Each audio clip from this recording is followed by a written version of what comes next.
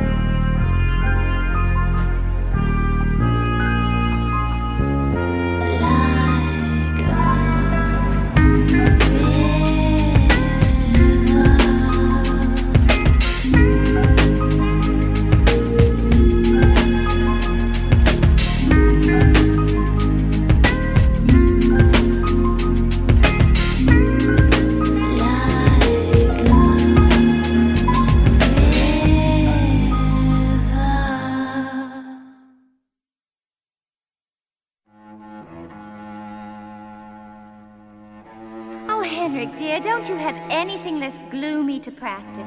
It isn't gloomy. It's profound. Well, can't you be profound later?